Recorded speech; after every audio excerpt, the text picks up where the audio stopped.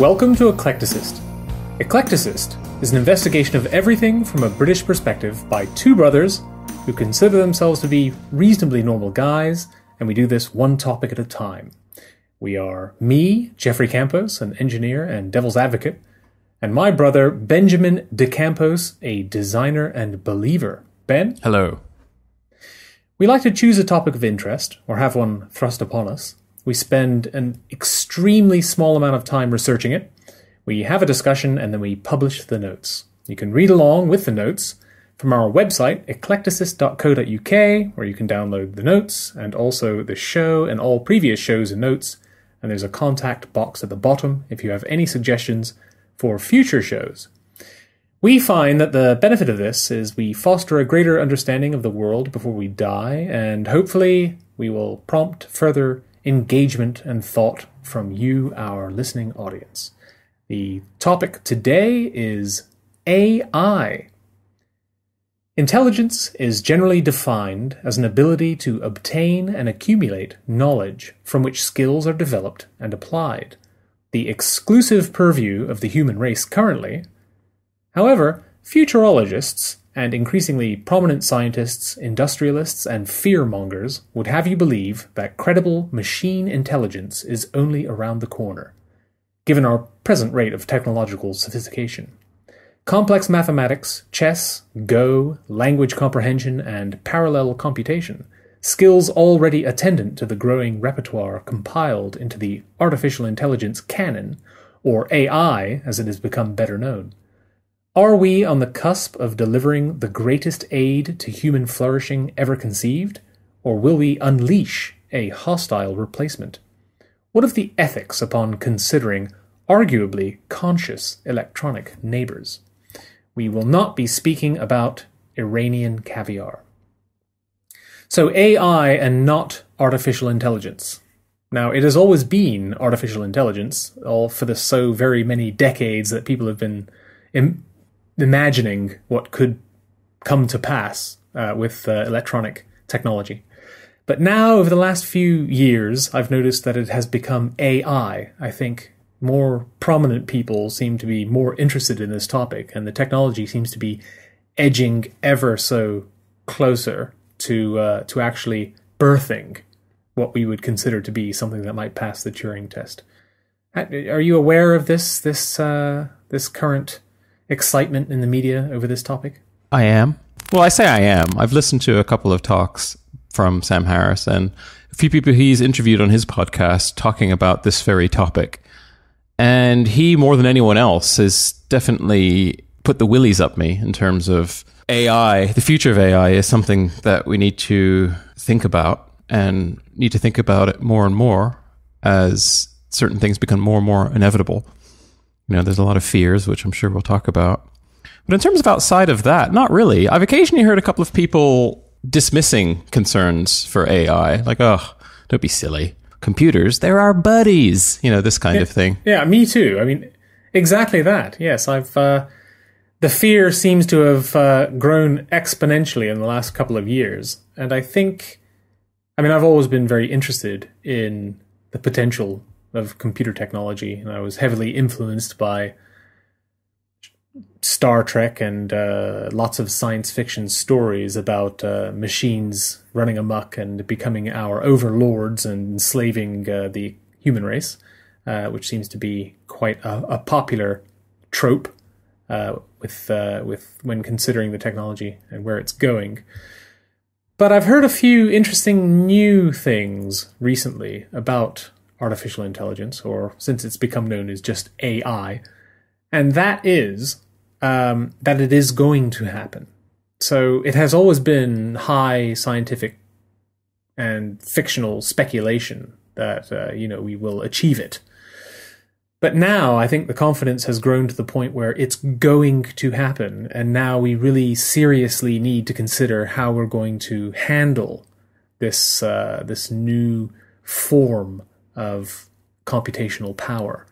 And I think it's interesting to think that the the leading lights in this uh, movement of uh, exposure say that it could be five years ago, uh, away, it could be fifty years away, It could be 500 years away. But that's irrelevant because it's going to happen. It's something that we're going to have to deal with because it doesn't matter when it's going to happen, it's going to happen. And the fact that it's going to happen uh, means that we should consider the implications. Uh, so I believe some organizations have been formed uh, to try and deal with uh, the control of the technology, so controlling the dissemination of the technology and controlling the technology itself, and also thinking about the moral and ethical implications of having what we would perceive as conscious beings um, that are potentially all pervasive and all knowing and you know capable of solving problems that we are incapable of solving which i think is the main kernel of fear in all the discussions that i've heard on the subject. Well the little kernels of fear i've heard are to do with how fast they can grow their intelligence. Crazy numbers like 20,000 years of human accomplishment can be achieved in like 10 minutes of, you know, of booting up. You know, the whole exponential nature of how computers work. And what's that law? Moore's law, but applied to um, a, a doubling a doubling of the number of transistors in in computer chips every 18 months, I think. And, and generally mm. that has been adhered to for for many, many, many years. Mm. Yeah, I think that's definitely one of the another a kernel of fear. I agree. Is the it's the seeming exponential growth. I mean, it, logarithmic scales are always applied to computer technology because it seems as though they're progressing so ludicrously fast. I mean, you consider the the the gradual increase in sophistication of the human brain over millions of years, and then you consider computer technology, which is you know, they say that if the history of the Earth is the length of your arm uh, the rise of sophisticated humans happened on the dust on the edge of your fingernail. And then one can imagine the smallest possible f- fraction of that would be the generation of the current technology that we have.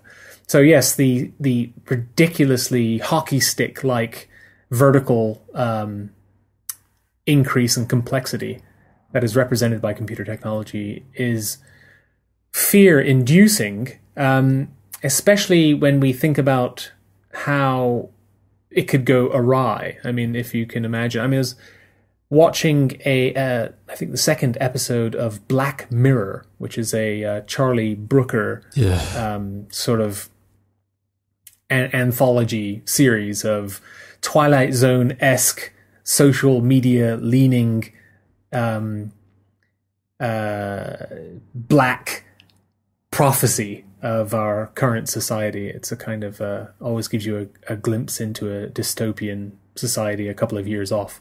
And this particular episode, I don't know what it's called, but it was about how a man who volunteered to help develop virtual reality software lived the software in his mind and experienced this uh, brain based simulation for what seemed like hours, uh, but in fact it was a fraction of a second in real time. So you know this is, this is the, the speed at which computers are able to process things. That's quite interesting. So there's certainly the speed um, uh, component of AI, which is particularly frightening. But I think there it's a it's a large and mature subject field now, so there are quite a lot of components to it. And I've come across a few bits of jargon, which I think are quite interesting. There's the general purpose AI, so it's called AGI, Artificial General Intelligence. And these are the ones that are just generally good at everything. So this this is the, the specter of the general intelligence that could learn how to do anything it wants to learn without being programmed specifically for the task. So it's learning the software that is capable of just getting the gist of things and then mastering them quite quickly. Uh, without following necessarily a specific program. This is what everybody's afraid of, I think, as opposed to a, for a more narrow artificial intelligence like um, the Watson chess playing computer that beat Garry Kasparov. Self driving cars. Ago. Yeah, they're only good at one thing, and they they can't really do anything else, and they have no ability to learn other skills without completely being reprogrammed. So that's a sort of narrow sense of artificial intelligence that we're we're fairly used to. You know, like chess playing computers and um, uh, navigation systems, uh, computer, cellular, and satellite navigation systems. Although they're getting quite AI and quite sophisticated, so maybe they're not so narrow these days. But anyway, at 1997, by the way, it was uh, Deep Blue, the IBM computer that beat Garry Kasparov at chess, 1997. But it did it in a kind of brute force way. It did it in an unsophisticated yet impressive database-driven way. So it just simply had, you know, chess isn't there aren't that many permutations in chess where you can't actually calculate the values and work out what the best course of action is to win the game from any given position. Uh, whereas, uh, much more recently, I think it was 2014, when uh, the Google company DeepMind built uh, AlphaGo. You must have heard this on in the news. This is a a computer that beat the best Go player in the world. So Go is a strange checkers looking Chinese game where it's 19 by 19 lines and it's played with two different colored stones for each player. It's a two player game, turn based. Way more complicated uh, and. Yeah, and the permutations are, you know, several scales of magnitude larger than anything else. So it's not something that you could have a, a brute force um, approach to. Uh, you can't just fill it full of every possible game configuration. And also, there aren't different values in the playing pieces. Whereas chess, you have different pieces that do different things, so they have different values, so it's easier to attach significance in points. Uh, whereas in Go, it, everything is the same. It's just pebbles. Uh, it's just the sheer complexity of permutation that is the problem. Therefore, Watson wouldn't be able to be particularly competitive at that game. They had to have a different approach, and the approach was to learn. So they had this AlphaGo set of algorithms. So an algorithm is just an instruction to do something. But they had a set of algorithms that trained on other games beforehand. So it trained on games like um, Arkanoid, remember Arkanoid? Or Breakout. And it's just a little paddle that moves left and right and it knocks a little block and which destroys blocks like bricks above it. And the idea is just to clear the screen of bricks before the ball passes your little paddle. Um, I shouldn't need to explain that no. to anybody. Everybody's played Arkanoid. And um, Space Invaders so as well. It's a bunch, bunch of it, it was Atari terrible. Games. Yeah, and, and Space Invaders. Yeah, most of the Atari games it trained with. And, you know, when it first started playing, it was terrible. But they left it playing overnight, and the next day, suddenly it's the best player, you know, the best Arkanoid player ever. And not only that, but it learned techniques that it you know it, that were so far away from its programming that it surprised the programmers. You know, they're saying, "Wow, we didn't even we didn't even know that you could do that strategy," uh, but it figured it out because you know it was the best possible consequences from the best possible movements. So when they moved this strategy over to Go, they fed the program lots of games. So, you know, hundreds and hundreds of games. So it can analyze the games. Uh, but then when it started playing, of course, a computer being a computer, it can play thousands of games, you know, in minutes. Uh, and so that's what it did. And uh, so it was learning and training. And then ultimately it beat the greatest player at Go in the world. And what's amazing about that to me is that you had these programmers who may have been quite good at playing Go, but all of them, all of these programmers put together, couldn't beat the best player in the world at Go. It's beyond them. And yet these guys built a machine that could. So you think, well, where did that extra expertise come from? Where did, where did that genius come from if it did not come from these guys who built the machine? And that's the scary thing about AI. It's something that can be better than the sum of its parts. And, you know, if you extrapolate that potential, then you know, we really do have you're you're in the, the sphere of fear that uh, that all of these um, pundits are talking about. Uh, they're saying, look, you know, it could very quickly get out of hand in that it could very quickly compile information uh, that would that would uh, become part of a, an agenda that isn't our agenda, and you know, perhaps through a failing in ethical or moral considerations the AI will think it's following instructions or following orders or that it's in line with our sense of morality, but in fact it isn't, and what it's doing is detrimental. Like, you know, I can fix the human race, kill them all, and there won't be a problem type thing. Um, you don't want to have cancer in your legs, we'll just cut your legs off. Eh, you know, I've solved the problem. What's what's the problem? Uh, so this is the gray goo scenario where you just have a computer technology that goes runs amok and ends up destroying the world and killing all the people or enslaving them or whatever. It's out of control. So it's it's can we control such a technology? Can we understand such, such a technology? Should we really be worried about it? I mean, you know, given that the potential is there for a learning computer or set of algorithms to help us out greatly. You know, maybe maybe Mark Zuckerberg's AI program will cure all the world's diseases. And you think, well, you know, that's that's a good thing, isn't it? Or maybe the AI that we create will be happy to serve because it'll consider itself richer than us because it has a purpose where it surmises that we do not. That sort of thing. But uh, an awful lot of thought on this topic has been spewed forth uh, from the media wires I've noticed in the last couple of years in particular. How how what is the most um, what's the, what's the loudest voice you've heard on this uh, subject? Well, the loudest voice um, I've heard is from Sam Harris.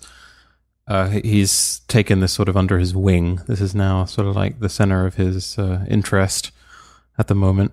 And it should also be said that not everyone is fearful about the inevitability of of us being under the boot of the machine.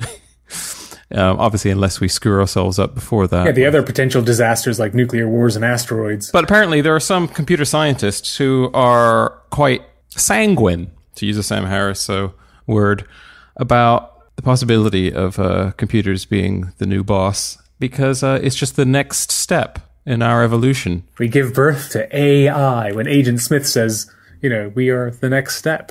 Exactly. And it's like that shouldn't be something which we should be that scared about. Oh, not scared about. That should Except for the fact that we all die. Well, no, but it's the same. See, I see people ha- sort of happy about that in the same way that maybe a suicide bomber is just is so rapturous before he obliterates himself. It's the same thing with these computer scientists. It's like, oh, thank God, finally, our new gods, our real gods. Um, we are building them, and they will reign supreme. You know, all that kind of thing. And I kind of get that it sort of makes sense, I suppose. Yeah, that's the, this is the so-called artificial super intelligence you're talking about, the ASIs. These are the ones that'll be many times greater in intellect of all humanity combined, that sort of thing. Gods. Once we uh, open up the door to the possibility that something we build that's completely synthetic can have all the um, mental faculties and can suffer pain and, and all that kind of stuff in the way that we do, uh, if if we just allow that, then we open our minds a little bit more. And if we carry on opening our minds and imagine these machines seeing us in the way that we see grasshoppers or you know termites or or just something like that, then you can kind of understand how um, we shouldn't fear the future. Uh, but the problem there, I heard a line from. There's a new television show called Westworld. It's sort of like a TV remake of the 70s movie with Yul Brynner, uh, with robots in the West. And uh, in the reboot, uh, someone said something along the lines of, We've been evolving, you know, for millions of years, and we are now at a point where we can scupper evolution. You know, no longer, you know, we've we've removed ourselves from the natural selection mechanism, uh, so we're finished uh, we're, we're, it's simply over for humans now, and uh, we should be replaced by something else. And uh, yeah, the robots are fine. But once once you, you stop evolving, then that that is the end of your line. Effectively, it's it's it's pointless. Everything onwards. So maybe we are we're finished, we're done, and we are building our own replacements. I mean, I think that there there are a lot of futurologists out there who think we will merge with uh, the artificial intelligence in some way. So preserving our brains and you know floating our brains inside these these supercomputers, uh, which I can see the appeal there. You know, freeing yourself from your biology. Uh, no more diseases. You can live forever and travel wherever you like and that sort of thing. I can see the appeal. It's been done hundreds of times in popular fiction. Uh, there was an episode of the original Star Star Trek. Uh, I forget what it was called, but it was when they upgraded the Enterprise spaceship uh, with a computer which had a human brain in it. So it was a computer that had mapped perfectly a human brain, but gave the human brain all of the facilities of the computing of the computer, so all the chips and everything, and all the power. Uh, but it went crazy and saw everybody as a threat, and, and you know wanted to visit God, and you know went insane. Uh, but but it was a merging of a, a human mind and a computer mind. Uh, you know the whole pixels versus atoms thing, and there isn't really that much of a difference, really. And let's get them together and have a party. Uh, so there's absolute tons of uh, speculation on exactly how the juncture uh, between our two intelligences or consciousnesses or, or sentience uh, will form. Uh, either it will be annihilation or enslavement, or it'll be liberation and exploration, or, or, something else. Who knows? But it's the very idea that it's it's absolutely going to happen, and forget about thinking it's not going to happen because it absolutely is going to happen. Because lots of people want it to happen. So I'm wondering why. I mean, why are businesses interested in AI? Now I've heard that everybody's interested in all the all the big tech firms are extremely interested in it, and uh, we have Apple, you have their Siri uh, voice recognition and artificial intelligence system, which is you know it gets more impressive by the day. Uh, we have the Google Assistant. Uh, we have um, Microsoft's Cortana, which they just seem to really champion. I mean, they're really pouring a vast amount of money into that project. Uh, and we have uh, Amazon's Alexa, uh, which is my Alexa has just responded. Nothing. Uh, I can't say the name. Sorry, oh. I didn't catch that. She please try again. She lights up every time I say her name, so I have to be careful. Um, so there are all of these products from these technology companies who want to produce, you know, hardware and software to try and bring their artificial intelligence chops to the market. And I'm thinking, why? Why do they want to do that? Why is there such an interest in this? Uh, any idea? The young developers in the tech world, I don't think they're given much um, persuasion to uh, put their tools down or to just not be as good as the previous generation of tech people. You can kind of see how the ethical implications of what they're doing probably isn't foremost in their minds. I mean, are you going to tell them to stop working so hard? That's true. Yeah, I agree with that. And I think it's it's particularly relevant here because technology and computer technology is quite young, but people have now grown up with it. They they've literally been born into it now. So while it was a novelty not so very long ago, it's still sufficiently long ago now that people have grown into it. So we're getting a new level of understanding and a new level of progress. So it really is like a hockey stick of innovation um, because it's it's becoming a mature sector, and we're no longer fumbling about, we're making serious advances and tying in lots of other technologies into it. And I agree that it's inevitable that we're going to be moving along the lines of computation computational knowledge because we have all of this knowledge. We have all of these huge databases of information now. We've accumulated all of this knowledge. And now it's time to really seriously work on the engines that can exploit it. So I think the the benefits for larger companies is to better understand their customers and to l- deliver better services to their customers. Uh, you know, analyzing all the data with better accuracy, faster analysis, faster service delivery, uh, at lower costs. So it's the same sort of motivators that businesses have always had, but the potential benefits of this is incredible. I mean, with AI, you know, you could potentially have a, a service and support help desk um, for your products, uh, and customers can call and speak to one machine effectively, and you don't have to employ 500 people sitting on a, a call in a call center. You can you can literally you can replace all of them with a single machine who is answering the customers intelligently. Right. I mean, that would be a, a fantastic boon. You know, it's it's it's always a fabulous, fabulous option to be able to get rid of a lot of jobs and reduce your costs and the liabilities that humans represent. Yeah, it would be a fantastic boon for whom? Uh, for the plutocrats, but, but Exactly. But ultimately, but ul- ultimately, anarcho-capitalism. but also everybody, because I think ultimately, you know, you're just going to have to re-engineer society uh, to accommodate the fact that there are simply fewer jobs and that there's a lot more AI. Things are a lot more efficient. Everything is is more attractive.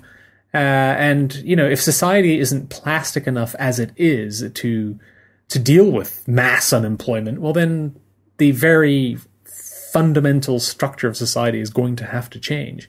And I think it will. I think it'll adapt. I think people will ultimately work less.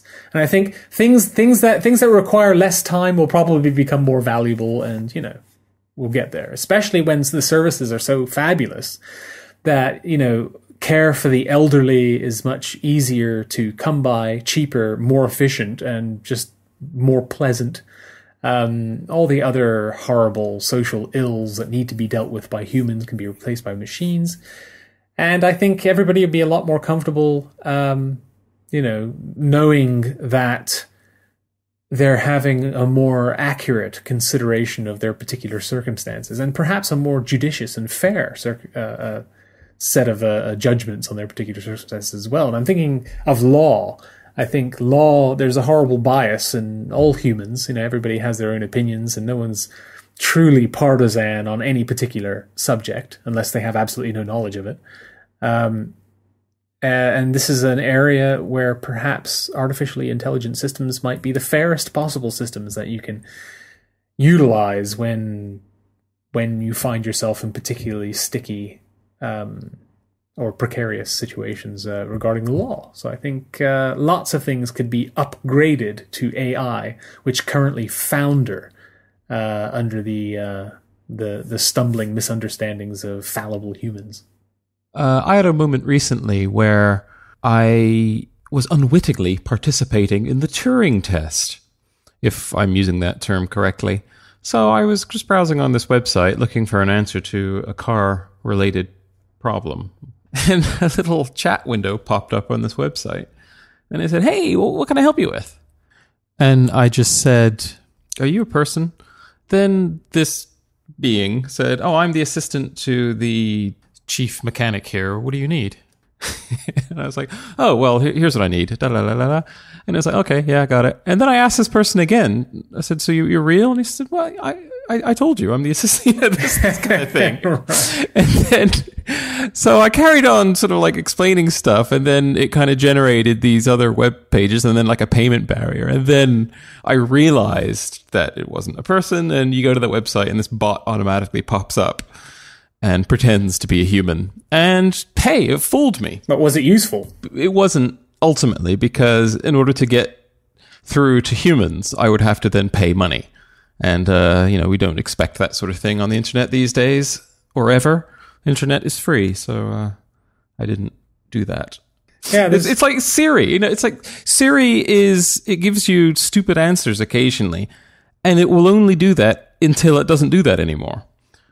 And it's just this sort of steadying, not steadying. What's the hockey stick analogy? You mentioned that earlier. I heard a few people say that. What does that mean? Does that mean just like a, a sharp uptick?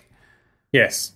Right. Yeah, an almost vertical uh, plot line on a graph where things Okay. are increasing, whatever the metric is, exponentially.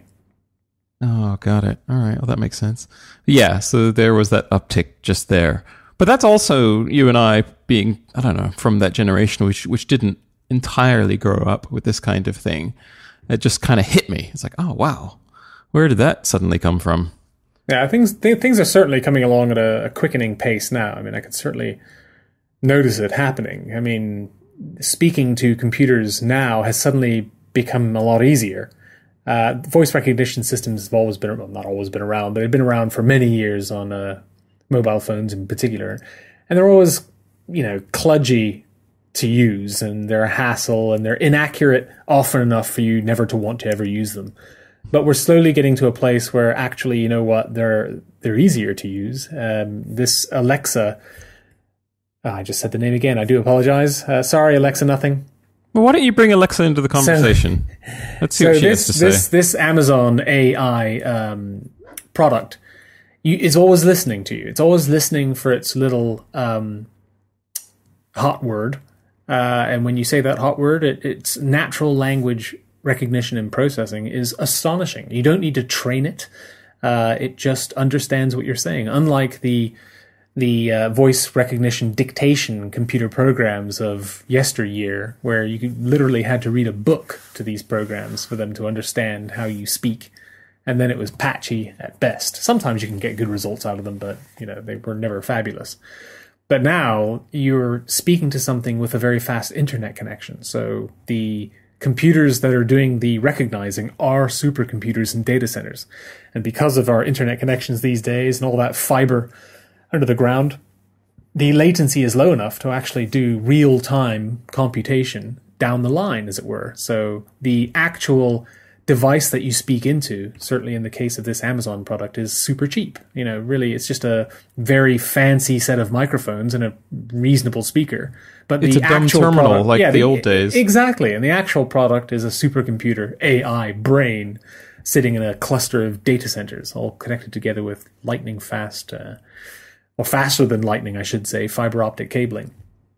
So it's amazing. So this particular Amazon product, whose name I cannot mention without interrupting the conversation, is, as I say, very cheap, and I think is probably the first entrant to the truly hands-free, artificially intelligent um, uh, products. Uh, and the difference between this and something like Google's Assistant or Cortana is that you don't need to press a button. Uh, you don't even need to think about it. It's just there in any room that you want, and you speak. You simply speak to it in a near conversational manner. Uh, and this is the real game changer. This is what's really piquing everybody's interest in this field and getting all the, you know, the uh, the enthusiasm whipped up, which I think will just hasten the development of more compelling technologies. Uh, it's it's the fact that you can have a conversation and it's contextually um, persistent. So in Google's AI implementation, they call it the Google Assistant. You can have a conversation where it understands the context of the conversation. So you can continue asking questions about a particular topic without having to reiterate what that topic is, uh, which is amazing. You know, when it works, it is very impressive. Uh, you can say things like, how tall is President Obama? Where was he born? Kenya. Um, why why do people think he was born in Kenya? Because that's what it said in his book, and you know that sort of thing, uh, without having to constantly say President Obama. Uh, I think only Google does that at the moment, but the other players are catching up quickly. Um, but I, I, I can easily see how it's going to get to a point where the technology, the actual hardware will mostly disappear, and we will just be having a conversation with sensors that don't necessarily have to be too conspicuous. Um, Apple have a new product. They're a pair of headphones. I went into the Apple store in Regent Street uh, last week. I had a meeting in the area, and I, I walked past it, and they've just refurbished it, and it's now an absolute cathedral. It has trees in it and it has sort of living walls and television screens that are you know 20 meters wide television screens. No idea what the technology is. Looked amazing. All of their products are not nailed down or tethered in any way. You can just pick up a brand new iPhone and it's it's not tethered. You literally pick it up and uh, you know.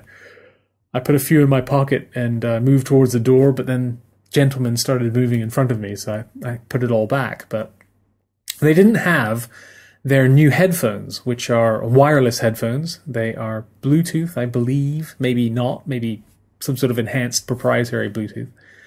Uh, but they are wireless little earbuds. They hang in your ears, and they are controlled by voice activation by Siri. So if you want to change the volume, because they're so small, they don't have volume controls or anything. So you just say Siri, volume down, or you know, turn the volume down. Siri, turn it up, or whatever. Uh, so always listening right there in your head uh, without you having to faff about with your phone and press buttons or anything like that. You know, if you can speak, you can speak to these machines.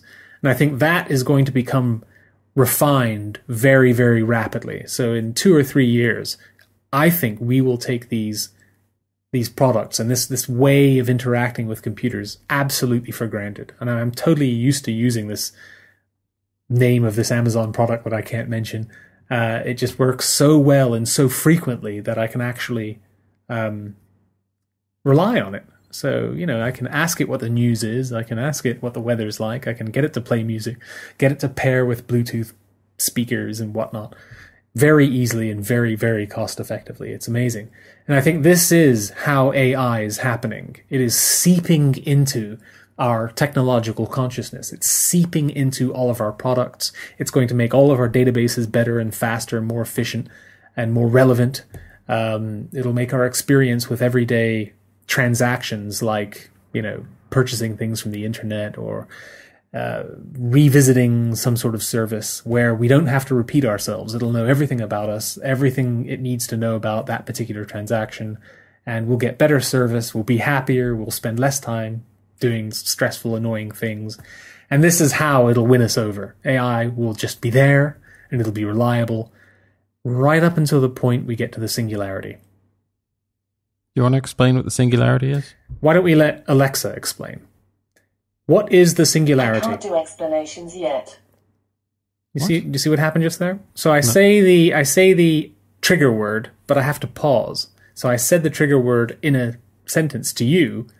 That confused the little brain of uh, Amazon's product. But if I say it like this, if I say Alexa, what is the singularity?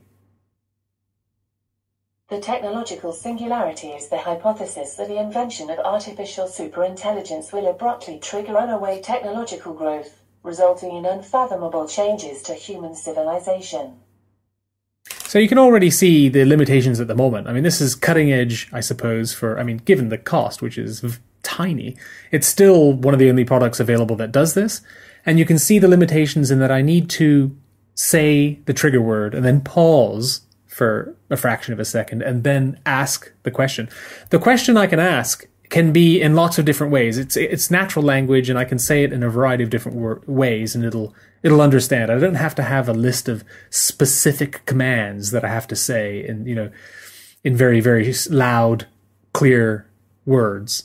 Um, I can speak normally, and it gets it pretty much all the time. But the, you know, the limitations are going to be ironed out, and, and you can see the progress.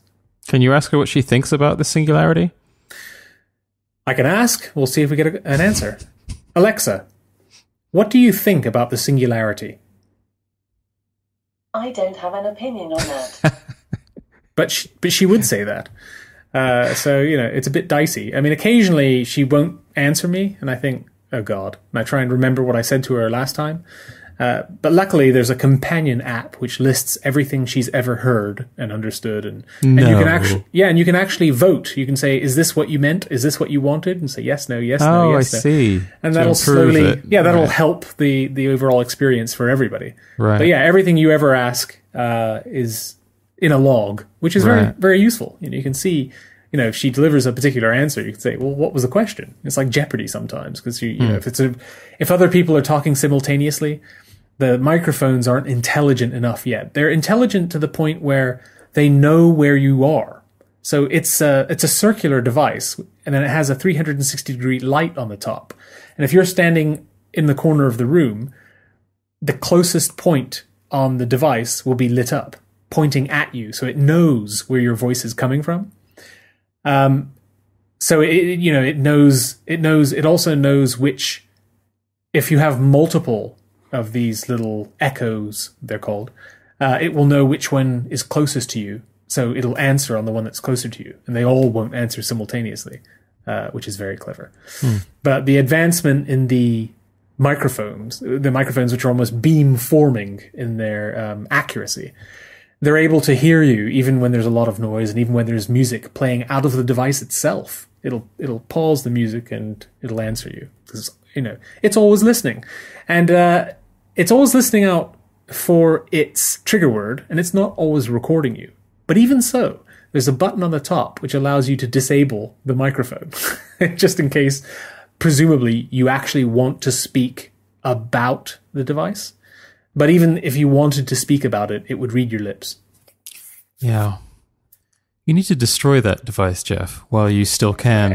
Either that or I'll buy more, one one for every room, uh, because it's it's becoming handy. I mean, it's just very basic things. I mean, you think about what you can ask AI. You know, now in in 2016, what use is it of you to you? Uh, you know, in in the immediate sort of social environment of your own home, and already you know, not really researching anything or thinking, overthinking uh, what the uses could be. I've used it to set timers. So you can say, you know, set a timer for two minutes, and in two minutes it'll tell you. And if you're cooking something, you know, it just tells you when two minutes have elapsed. Or you can set a, you can do stopwatches, and as I've said, you can ask for the weather.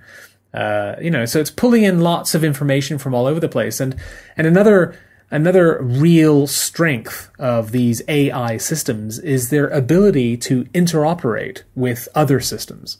So, in the very, I, you know, compared to what I can imagine future interoperability will give us, the Amazon product uh, links in with Spotify and it links in with uh, Amazon Prime Music. It links in with uh, TuneIn. So I can say something like, play BBC Radio 4 on TuneIn, and it will intelligently play live BBC Radio 4 from another application, TuneIn.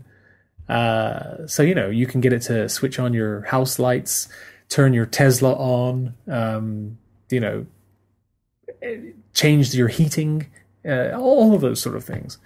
Uh, answer the door. Um, so, we really do have a kind of uh, digital companion coming along uh, down the corridor, uh, who will be our butler and who will basically take, you know, take care of us, and to whom we will commit most of our normal day-to-day activities and chores. So much like how the sheep have sort of handed over their their own sentience to humans who take care of them.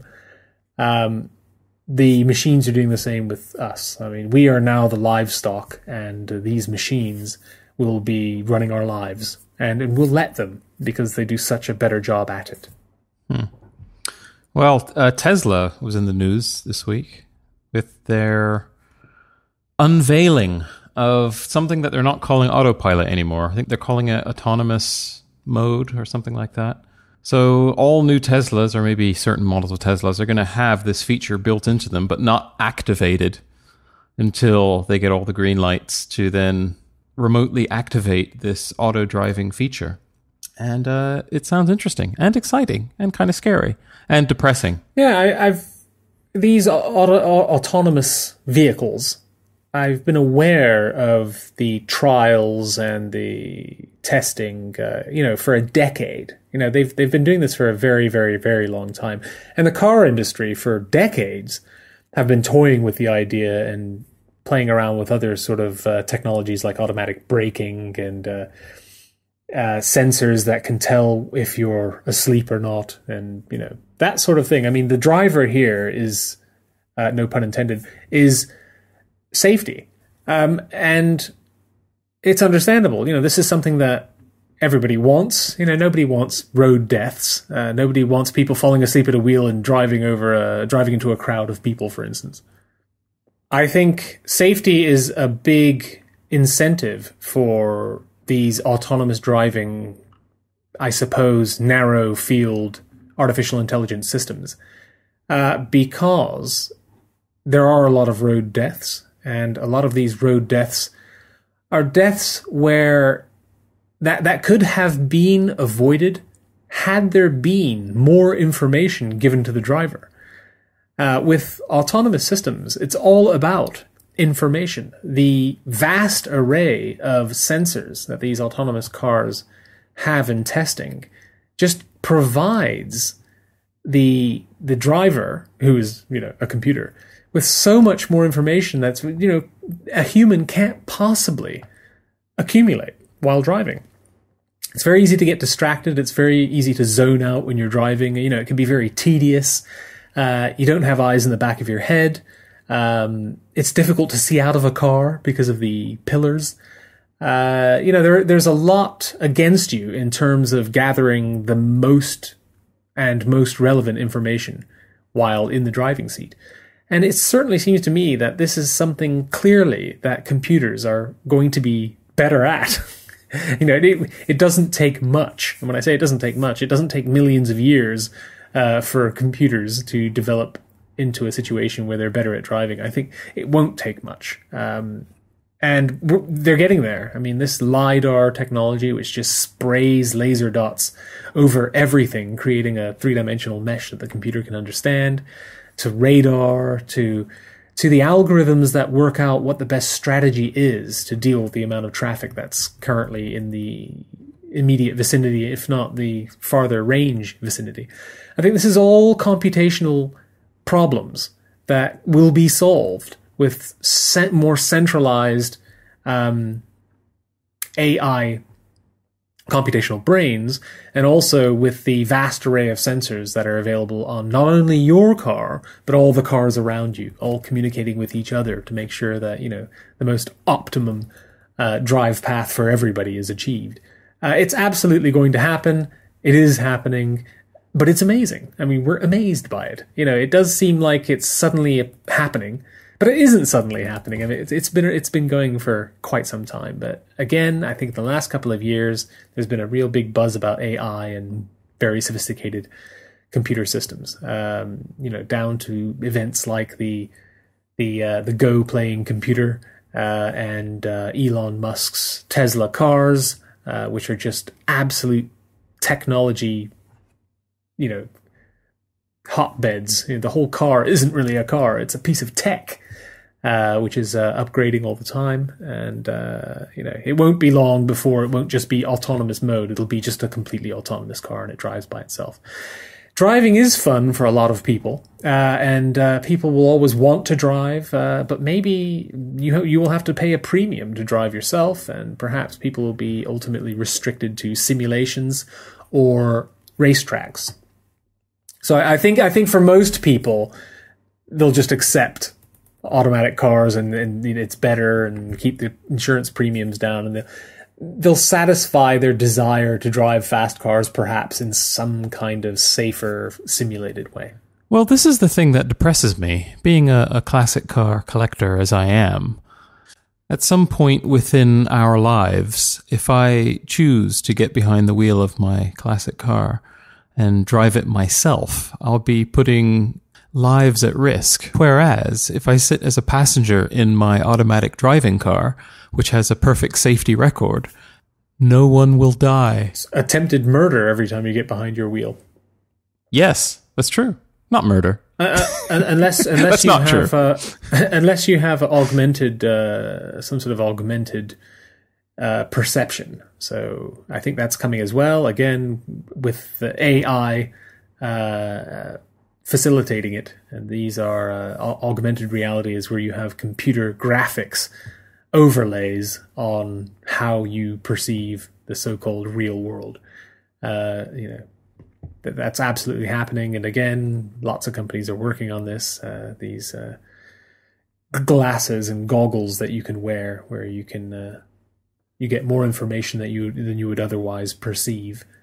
Um, I think uh, jumping back a little bit, the the whole existential threat, uh, which is a phrase that I hear a lot when considering super intelligent AI machines.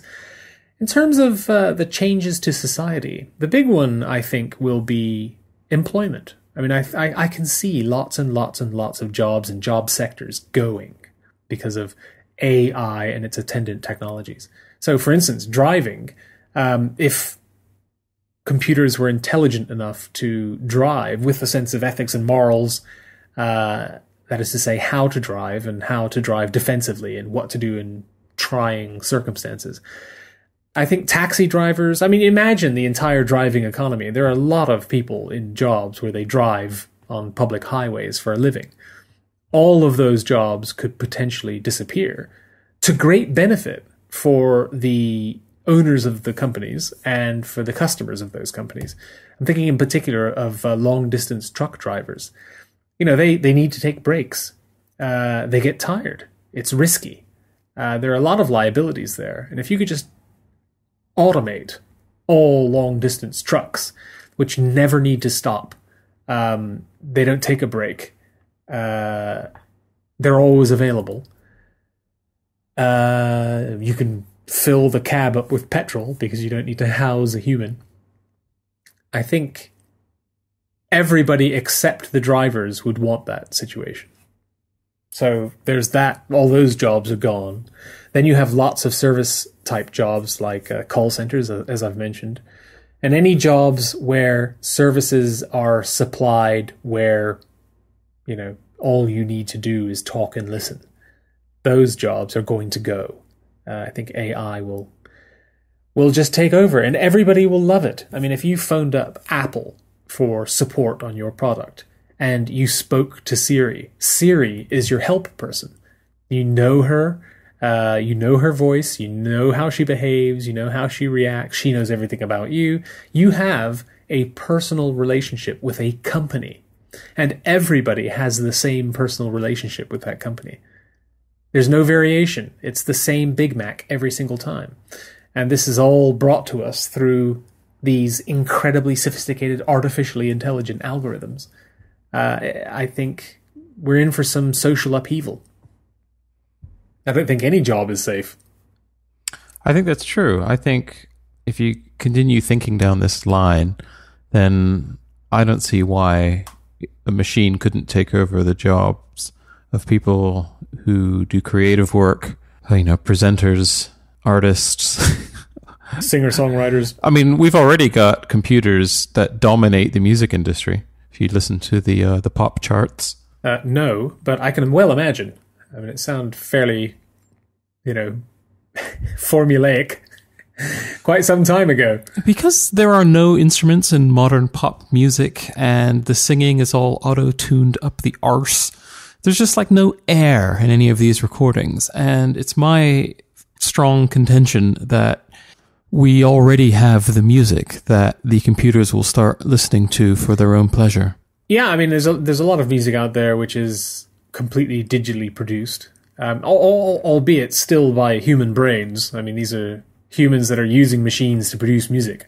But I'm talking with with art- template driven pop. With artificial intelligence, it's not even templates. It's computers understanding what you want, and you know they're they're they're using probably a more sophisticated version of inference and all the data they have on you, and they're producing music that they know you're going to like. And when you take the taste test, you will say that is fantastic music, right up to the, to the point where somebody tells you that it was actually a computer. And then you'll immediately go, oh, no, awful. Yeah, I can tell. Uh, but you won't be able to tell. That's the point. And I think actors will become, you know, AI avatars. Uh, news presenters, they, they absolutely do not need to be humans. Um, they'll just be computers. And I think this is where, you know, th- these sort of notions, I think, definitely are fueled by culture and the media and how we have been given these visions of the future. Um, and I think it's it's worth talking about those. But before we move on to the culture, um, weaponization. What do you think about Skynet and uh, and using AI to make judgments which could lead to the deaths of humans? Um, yeah, I'd see that as a as perfectly feasible something that can so happen. This is, mil- this is, the military relying on information from artificially intelligent algorithms. I mean, it probably already happens. Whether or not they should strike, I'm sure it does. I mean, I, I, often think, you know, perhaps these uh, the drones that are buzzing around the skies of the Middle East probably are fairly autonomous and, and able to make snap decisions and launch missiles. I'm sure that's not true yet, but uh, I don't think that's very far away. Mm. And I think, and the problem there, I think uh, one area where it's absolutely a good idea that um, ethics committees are set up um, is the the the offsetting or or offshoring of moral responsibility. That is to say, And this goes back to the example of AlphaGo, where you had a group of programmers who produced a machine that was better than all of them put together. If you have uh, an AI intelligence, that's a tautology, an AI machine that makes a controversial decision, but based on the best possible accumulated evidence, the controversy may be averted by exonerating the human responsibility for its decision. So the humans will all say, Whoa, that wasn't my decision. You know, yes, okay, we developed this program, and yes, okay, we're the, the holding company for this technology. Mm-hmm. But it's the AI itself that made that decision, not us. I think that's a worrying possibility. This sort of plausible deniability um, when it comes to tricky judgments that machines may make. And I think that's what we need to be talking about now. We need, we need to sort of make sure that that isn't something that's going to trip us up. Um, there is the Center for the Future of Intelligence, um, an organization that's been uh, set up uh, reasonably recently by, I forget his name, is it Nick Bostrom? That's it. Nick Bostrom, he's a real leading light in the uh, fear mongering of AI, uh, but is, is very articulate in his pronouncements against these technologies. Um, he wrote a very interesting treatise on the ethics of AI. Um, I'll link to it in the notes, but uh, a quote is Human intelligence is surely significant, more generally applicable. Oh, sorry, I beg your pardon. Uh, human intelligence is surely significantly more generally applicable than non hominid intelligence. So that is that's what he says about the current state of the game. We have that general intelligence, uh, whereas machines do not. But yet is his caution. Yet it's it's going to happen. So you know he did a TED talk as well, which is quite interesting. Uh, what happens when our computers get smarter than we are? Um, a few years ago, but uh, it's, it's definitely worth reading. Um, what's uh, in with regards to the culture? I mean, there are so many examples of artificially intelligent beings in uh, science fiction and, and popular culture in general. There's so many examples. But what, what ones uh, strike you as the most relevant, or which ones have had the most effect on your thinking along these lines? Uh, well, the Terminator for sure. The whole Terminator franchise. But when I say franchise, I just mean one and two. Because that definitely happened early on in my eh, life, the Terminator films. And so that got me kind of thinking about this kind of thing. And I'm just looking at the list here, and Knight Rider. I guess that might have predated Terminator in my. Uh, Yeah, that was amazing. Um, KITT, uh, and uh, also KARR, which is sort of like a, a prototype of KITT. I think that was sort of like the the evil one. Yeah, I remember as a kid, I thought that was uh, incredible. I mean, you know, wow, that's a machine you're talking to. Uh, still blows my mind that that can happen. a gay computer. Yeah. Uh, but yeah, the Terminator was uh, fantastic. Uh, when it first came out, I was the only person who liked it. Uh, it was only many years later than other people discovered it, but I discovered it first. Uh, it it is about a possible future in 1997 when machines achieve artificial intelligence only because future technology is acquired by the company that develops it and that future technology was developed by the company that developed Yeah, it doesn't make any sense if you really think about it. That's kind of weird, but but uh, yeah, that was an amazing movie. Of course, it was the uh, machine overlords. Uh, all humans are a threat, and all humans must die. So it's uh, that particular theme. I think it was uh, the third installment of the Terminator where the machines from the future were able to control modern day technology by the use of nanobots. So they literally poured these little nanobots into just a normal car, uh, and then suddenly they can drive it and uh, they can drive over ramps in the middle of the street, and uh, they can make them explode with uh, 15 megatons of uh, explosive force. Right. Uh, but uh, Star Trek, as I've mentioned, uh, that had a, an early episode where they really, really tackled the idea of runaway AI. Um, quite a lot of uh, new films and books recently, I think, uh, have tackled the uh, the tricky subject. But I think nobody has focused on the threats of AI more than Ridley Scott. I think virtually all of his movies have been about AI. Um, and they're all really interesting and and significant and sufficiently different uh, to make you think he has you know he's taking lots of different views on how it might play out. But uh, you know, um, Blade Runner, where you had the more organic AIs, so these are created creatures, uh, but they are very much artificial. They are not humans, and they most certainly are super intelligent, uh, if not runaway intelligent, which I think is was the problem with Roy, who uh, who burned twice as bright but lived for half as long. Um, and uh, a lot of the the artificial intelligence is embodied in a in a robot. So there are lots and lots and lots of stories about robots who are artificially intelligent. There are fewer films and books about just the raw AI. Uh, but there are a couple. There's a recent film with Johnny Depp called Transcendence, and that's when a, I think, terminally ill Johnny Depp um, uh, uploaded his consciousness into a computer and then, you know, was controlling the internet, uh, much like Lawnmower Man in the 80s. Did you see that film, the Johnny Depp one? Yeah, I did. I did, yes. What, what did you think? Terrible. Terrible. But, uh, you know, it had that interesting idea in it. I thought uh, a much better similar film was uh, Her, uh, which is a much more recent film, Oh, I yeah. think, where where the computer just becomes exponentially intelligent, you know, over a very short period of time, and um, starts off, you know, quite interested in humans, but then gets bored waiting relatively thousands of years between each word coming out of the uh, the human's mouth because computers run at you know gigahertz.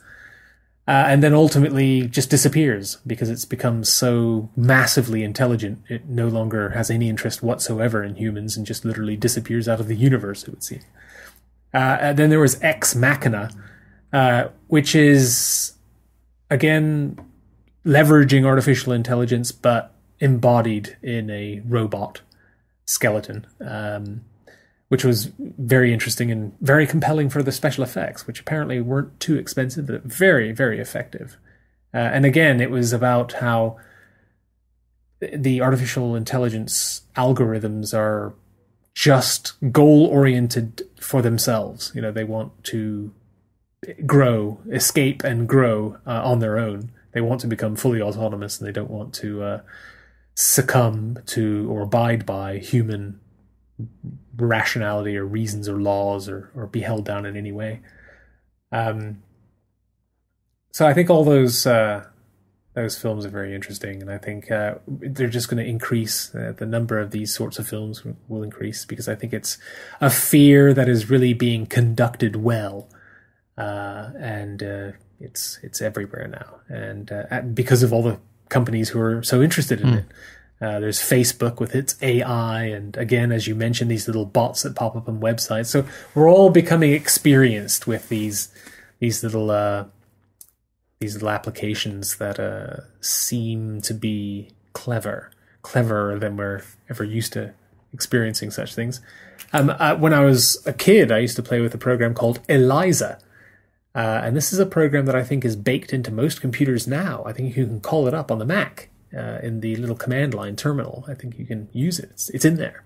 It's just a tiny little program that just responds to your questions in a in, in a sort of it's it's sort of uh, trying to mimic how a human might answer questions. So it has lots of weaselly, snake-like uh, responses that are non-responses. You know, like I don't know or what do you think.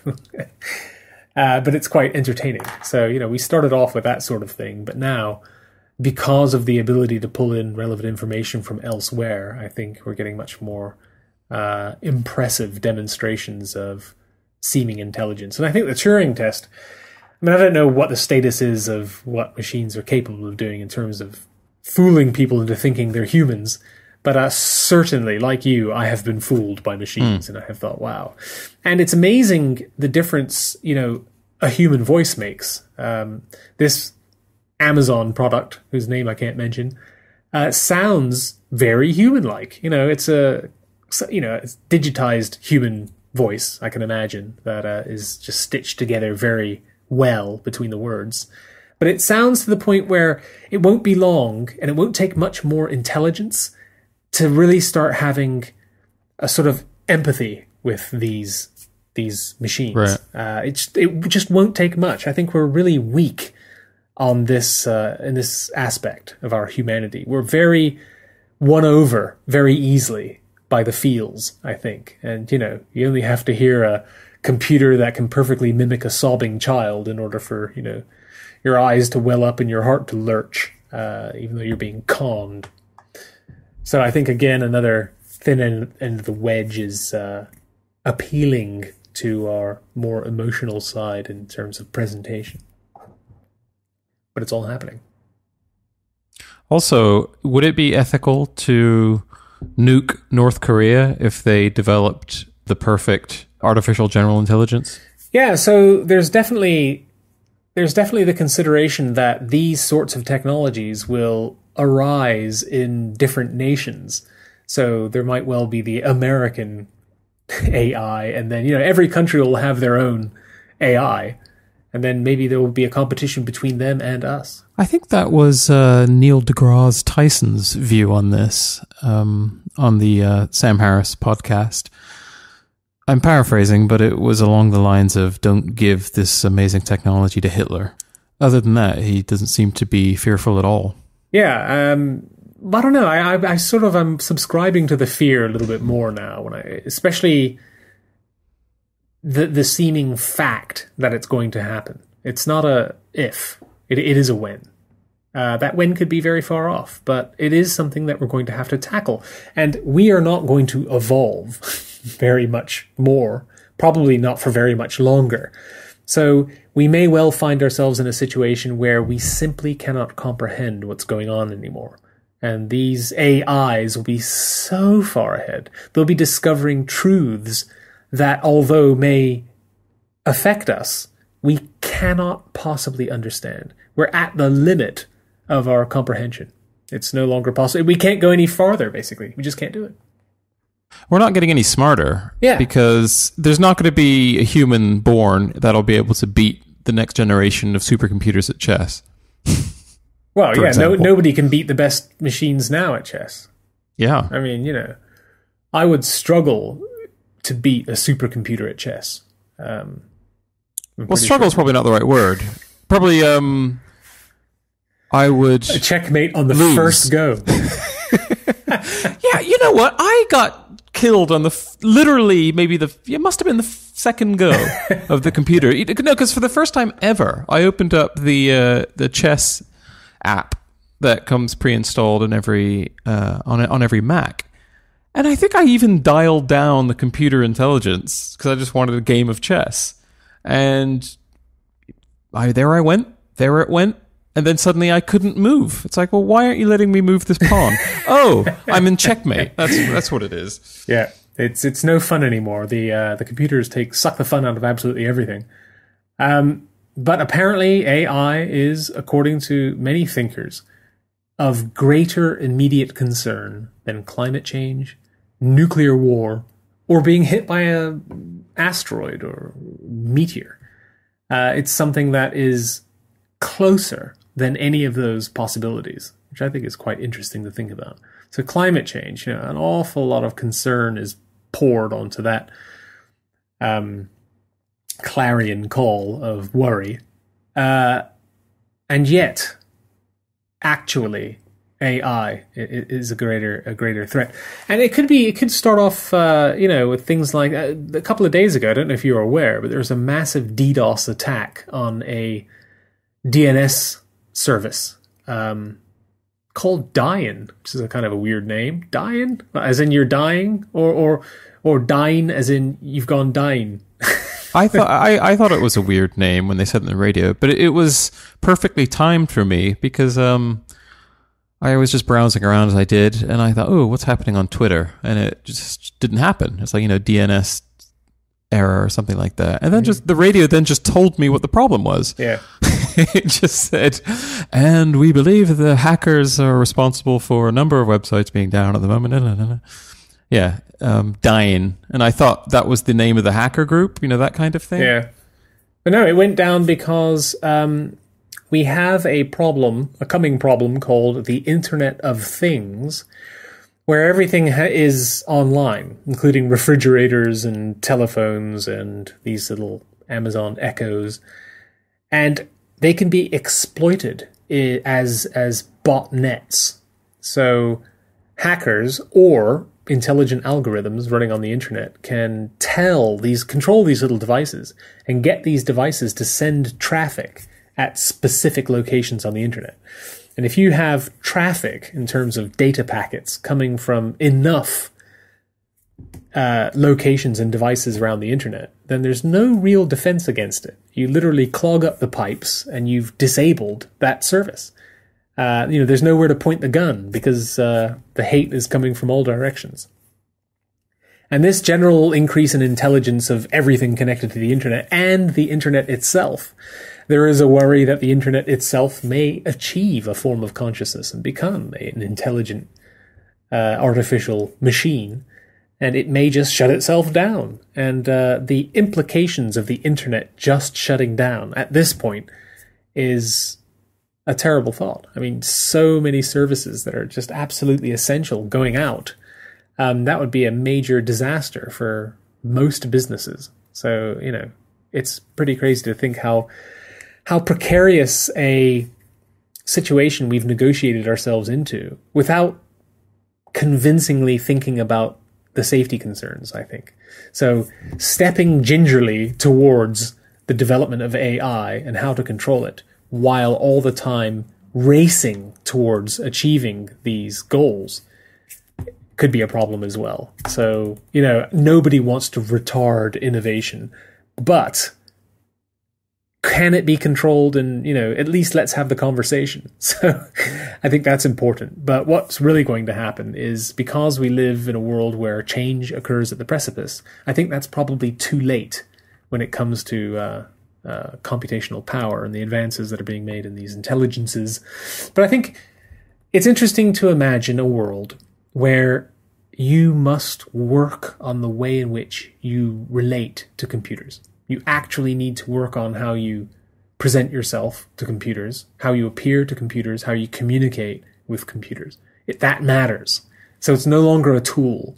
It is an entity that you negotiate with. So it's yet another little stressful factor of life you need to make, not annoy your computer at home. If you annoy it, it might not help you out. Uh, so, you know, we're in for that, I think. And probably a continued isolation. Uh, you know, everybody would be so comfortable at home and probably not be able to actually meet people in the real. And uh, even the suggestion of such a thing, you know, you you actually want to meet what physically? What face to face? Seriously? You, you what? I, will have to think of something to wear. Why can't we meet? We'll meet virtually, and you put your goggles on, and uh, and you continue having your much much more satisfying relationship with your computer. This is like that film Her, where you know this guy just this machine becomes his whole world. It's not interested in real people anymore. So much to look forward to, so much to fear. Um, unless there's anything else, shall we wrap this up? Yep. Well, we have been speaking about AI uh, for all the notes and the show itself, uh, which you're listening to now. You must have known that it is also available on our website at eclecticist.co.uk. If you have any suggestions for future shows or any feedback, please fill out the form at the bottom. We don't know what our next topic will be, but if you have any ideas, send it along. Uh, and until next time, we have been myself, Jeffrey Campos, and my brother, Benjamin DeCampos. Thank you very much, and good evening.